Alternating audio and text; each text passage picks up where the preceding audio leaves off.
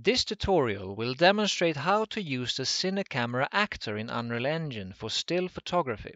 The level used here is derived from the third-person template with starter content included, but the functionality demonstrated here should be valid for any level.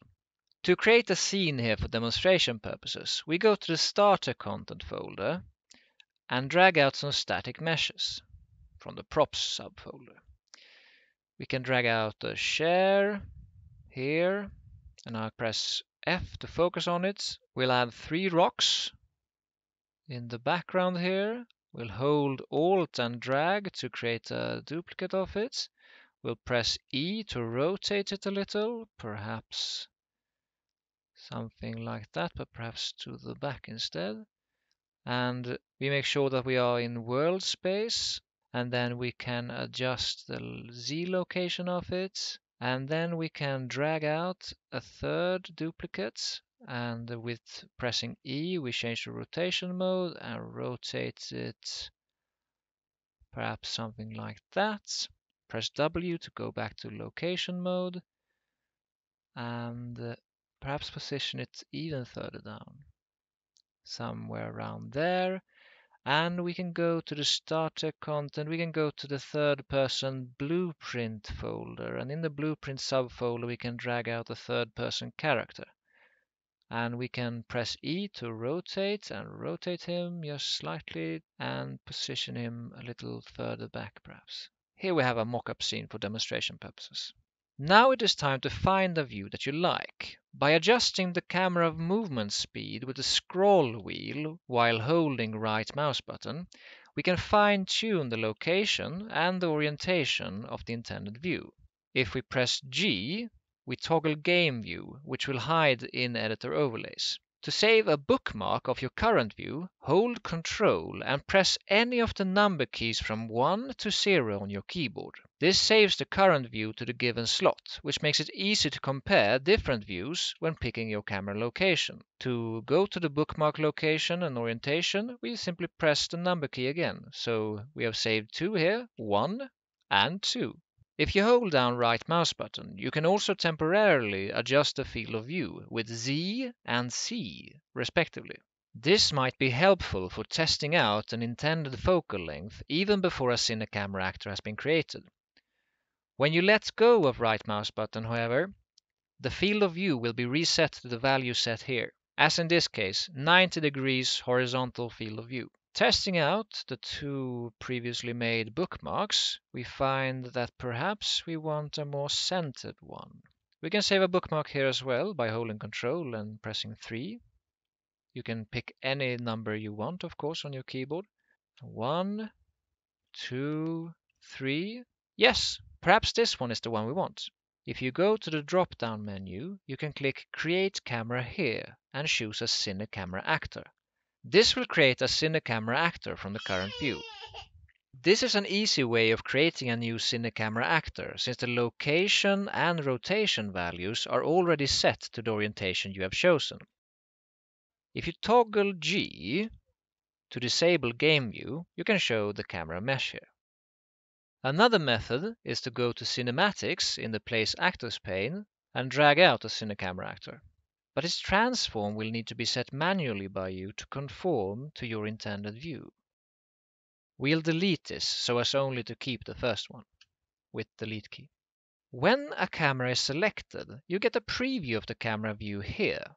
Often it is handy to pin it so as to keep the preview even when selecting other actors. The camera's location can be adjusted any way you see fit, whether with the global or local coordinate space active, but for the rotation, it is important to be in local space so as not to produce an excessive amount of Dutch angles. Generally, the roll angle along the x-axis should be avoided unless Dutch angles are used consciously to disorient the viewer or convey that the story the camera tells might not be credible. You pitch the camera along the local y-axis and you yaw it along the local z-axis. The representation of float values for rotational angles might produce insignificant rounding errors, but the tolerance is generally smaller than what the eye is able to perceive. With look at tracking, you can force the camera's rotation to be oriented towards a specific object, maintaining this relative orientation even when the camera is moved. With look at tracking enabled, you must use the global coordinate space when moving the camera, because local space transforms get really, really wonky. Except for the local x-axis, which always will be pointing in the forward direction. The tracking point is the origin or pivot point of the tracked object, but this can be offset in the controls under relative offset. The film back setting offers many presets, and each one offers a unique sensor width and height associated with the camera type of the real-life sensor dimensions it references, and the differences might seem like a big deal, but in essence it influences two things. The proportions between width and height define the aspect ratio of the camera, and this can be significant when your intended output is for 16 to 9 aspect ratio screens and you want to avoid the black borders of pillar boxing when viewing less widescreen content. The size of the sensor also determines the field of view for a given focal length.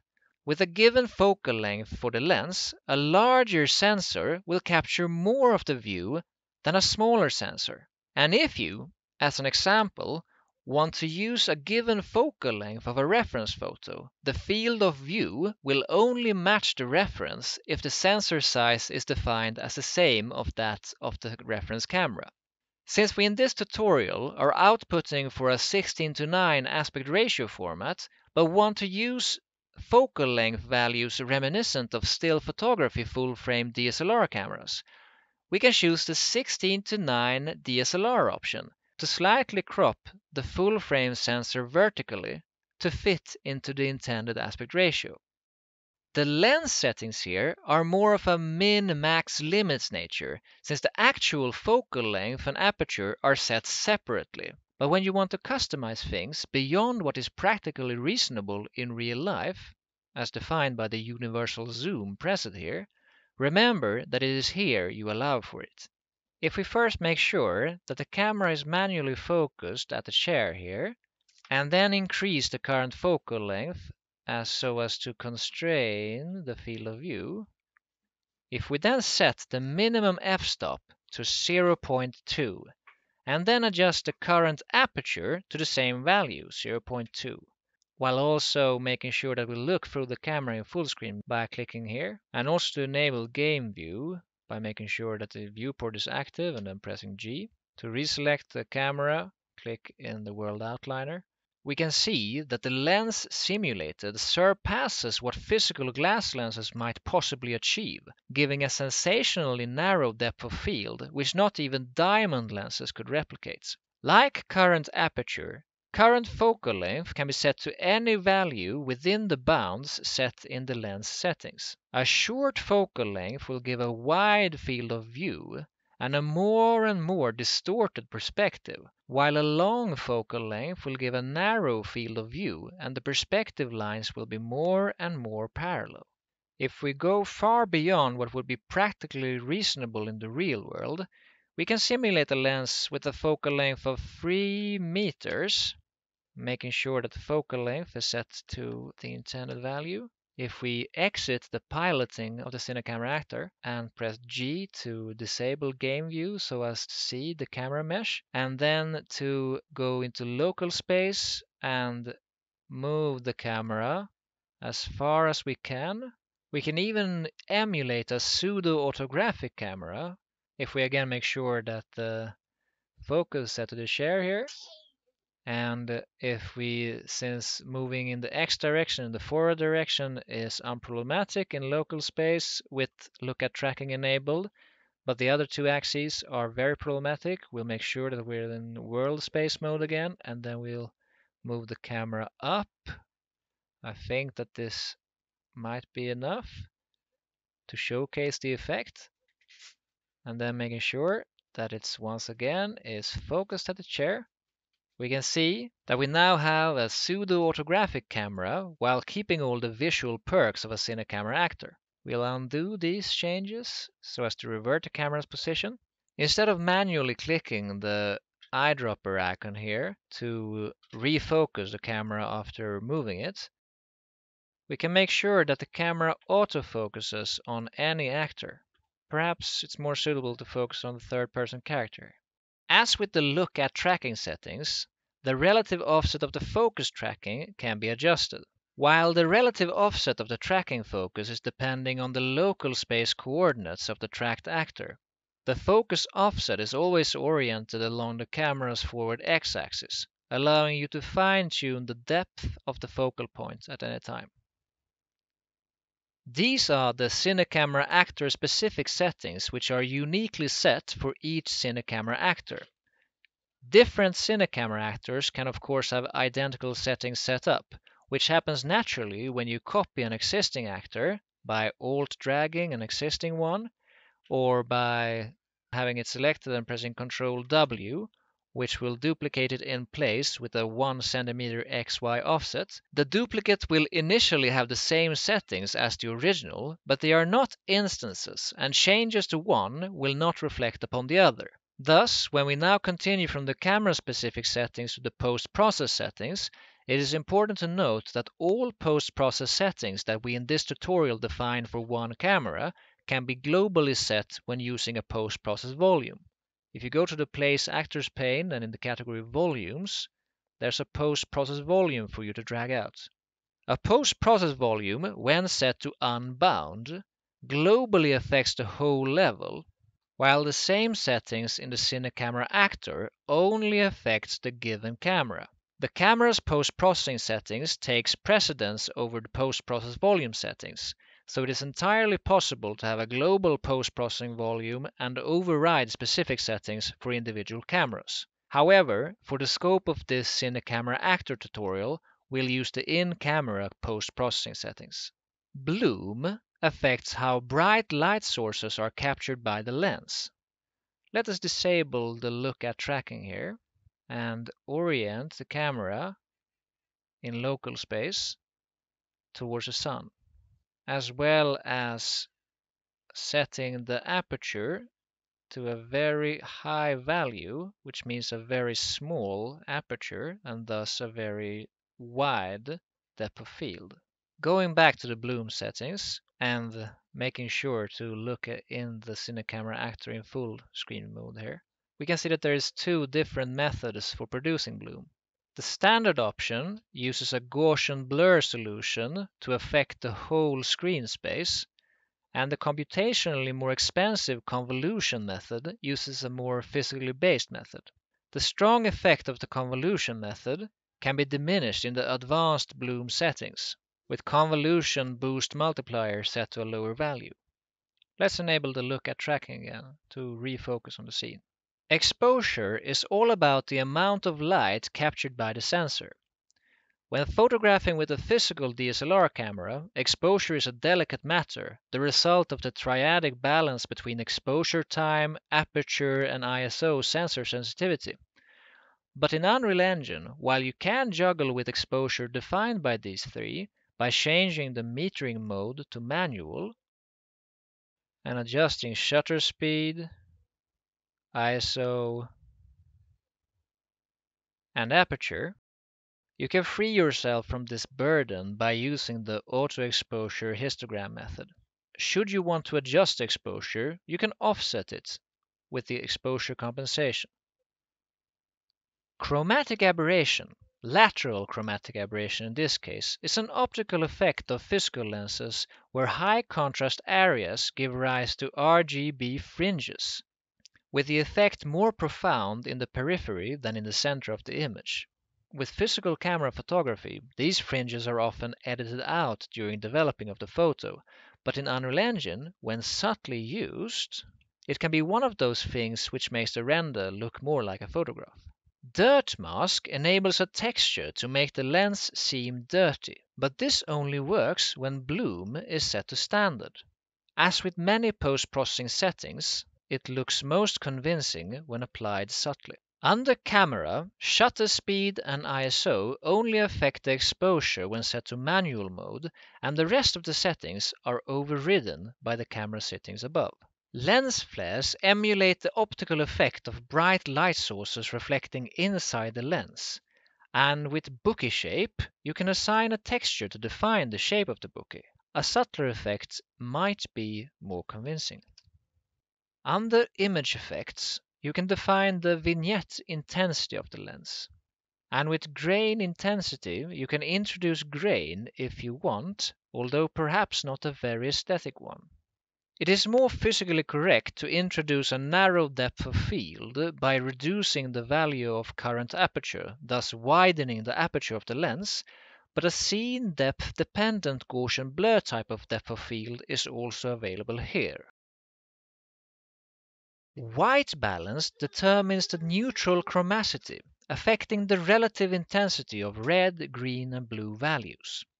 With a temperature of 6500 Kelvin and a tint of zero, the neutral chromacity approximates the standard illuminant D65, used as white point by most standard color spaces, such as sRGB, Adobe RGB, ProPhoto RGB, Rec 709, and Rec 2020.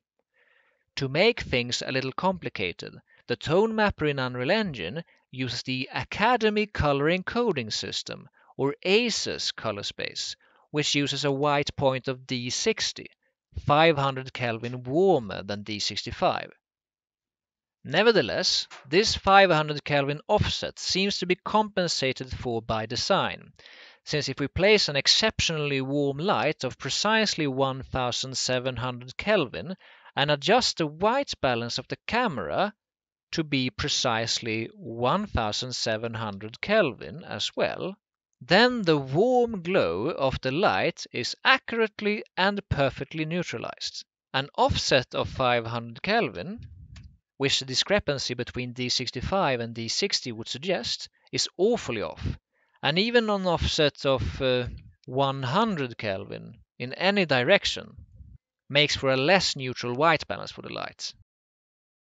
Thus it is safe to assume that 6500 Kelvin is the true neutral value in Unreal Engine, whether internally offset or not.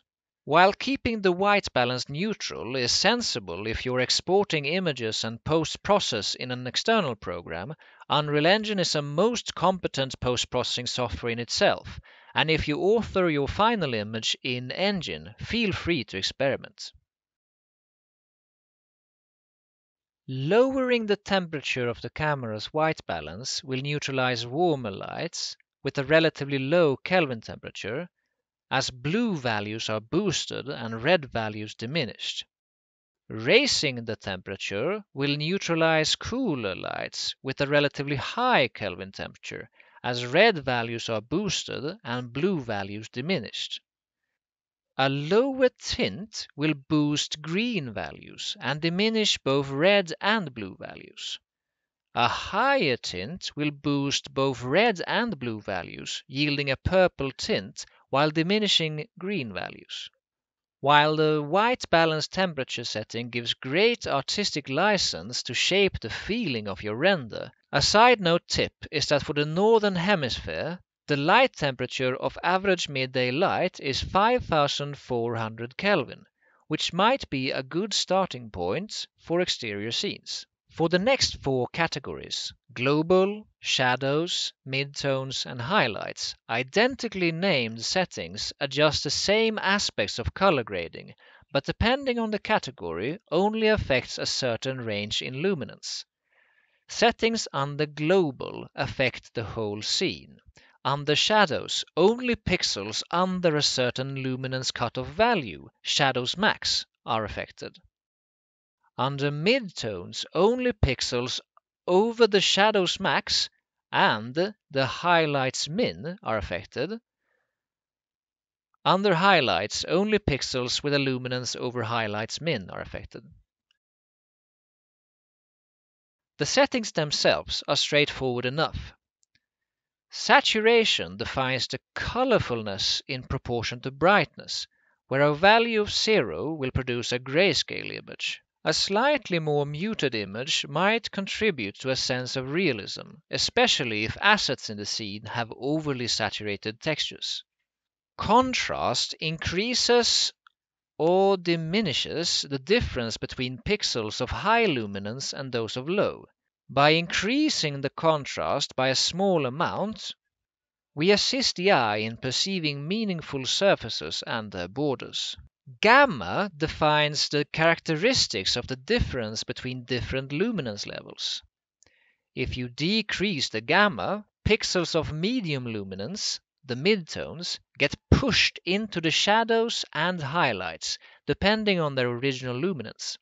If you increase the gamma, the shadows and highlights get crushed into the midtones. Gain adjusts the intensity of the white point without changing its chromacity, compressing or expanding the range of brightness in the image. Offset adjusts the intensity of the black point, generally leading to a darkened or washed out image. Like stated before, all of these settings can be adjusted globally or for a certain luminance range.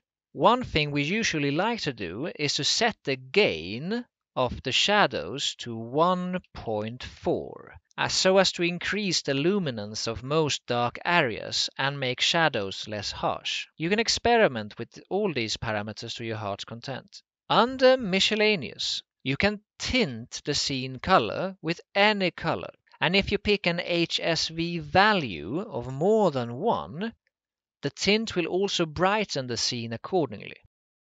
Using a lookup table, or LUT, will drastically or subtly change the color grading of the scene, depending on the LUT chosen.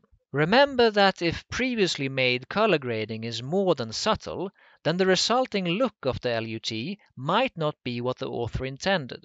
You can always check what looks best by toggling the adjusted setting, like the white balance temperature for this scene. Nevertheless, your color grading, together with the effect of the LUT, might be precisely what you want. There are four lookup tables included in the engine, but you can easily import more, and they will be properly read as long as their texture group is set to color lookup table. Chris R has made some freely available LUTs for commercial and non-commercial use with optional crediting. There's a link in the description. If you change the color grading LUT intensity, you can blend between no effects and full effects, which is often practical when the effect of the LUT is interesting but has too much of an impact. The settings under Film are set to correspond with the Academy Color Encoding System standard film stock, but can be adjusted to change the appearance of the image. By adjusting the slope, you modulate the difference between luminance levels, primarily in the midtones. The toe has a similar effect, but with a focus on shadows. The shoulder, to no surprise, works similarly with a focus on highlights. Black and white clipping adjust where black and white levels are cut off, respectively. An adjusted black point clipping offers very dramatic results, while white clipping is more subtle, if noticeable at all. When you are satisfied with both the framing of the image and the look of it, you can click High Resolution Screenshot to capture it. The screenshot size multiplier will determine the resolution of the image.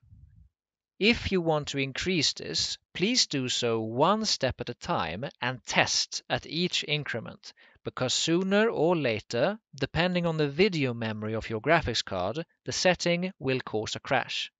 By default, clicking on the camera button will save the image as an 8-bit PNG. But if you want a 16-bit half-float OpenEXR image file less prone to gradient banding, you can enable include buffer visualization targets and make sure that write HDR format visualization targets is also enabled. This will separately include all render buffer channels, such as the unlit base color, the metallic and the roughness masks, the scene depth, and the world normal. But if you do not intend to use these as layer masks in further post-processing, then you can delete these and keep the suffixless one. Bear in mind that OpenEXR is a linear color space file format with a linear gamma of 1.0, accurate for light calculations, but not as we usually perceive colors on a screen. To revert the gamma to 2.2, as we see it in the Unreal Engine editor, we apply a gamma of 0.45, approximating 2.2 raised to the power of minus 1.